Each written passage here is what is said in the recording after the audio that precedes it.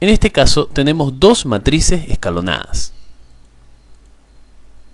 Esta sí es una matriz escalonada y esta otra también es una matriz escalonada. Como podemos observar, aquí se forman los escalones y los elementos pivote son igual a 1. El elemento pivote es el primer número de cada fila distinto de 0.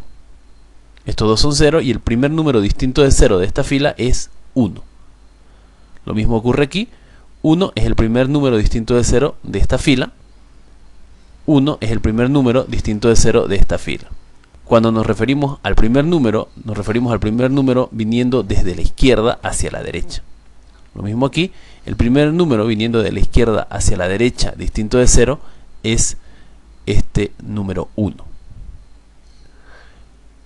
Habíamos señalado que en matrices escalonadas el elemento pivote puede ser 1 o como señalan algunos autores no es necesario que sea 1.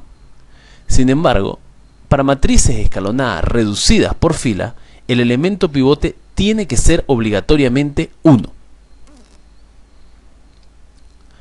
Además, la columna donde se encuentra el elemento pivote está formada por ceros, a excepción del elemento pivote que es 1. Lo mismo ocurre aquí. El elemento pivote es 1 y la columna, es decir, los números que están abajo y arriba del 1, son todos ceros.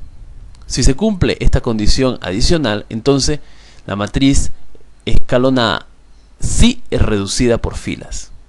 Esta es una matriz escalonada y también es una matriz escalonada reducida por filas. En este otro ejemplo, la columna del primer elemento pivote está formada por ceros únicamente, a excepción del elemento pivote que es 1. Lo mismo en esta otra columna. Los números que están abajo y arriba del 1 son todos ceros. Sin embargo, esta tercera columna no cumple con la condición. Todos los elementos que están abajo son ceros, pero arriba hay un elemento distinto de cero, 3. Por lo tanto, esta matriz no es una matriz escalonada reducida por filas. Sí es una matriz escalonada, pero no es reducida por filas.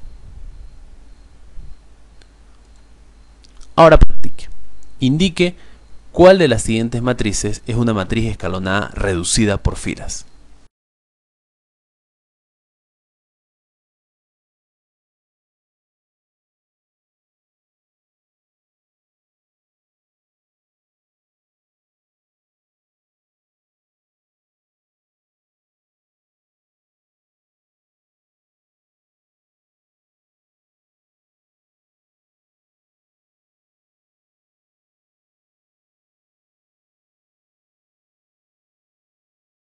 Primeramente, esta matriz no es escalonada. Luego de las matrices escalonadas, estas primeras dos matrices sí son escalonadas reducidas por filas, mientras que esta última no, porque tiene un número 2 en la columna del elemento pivote.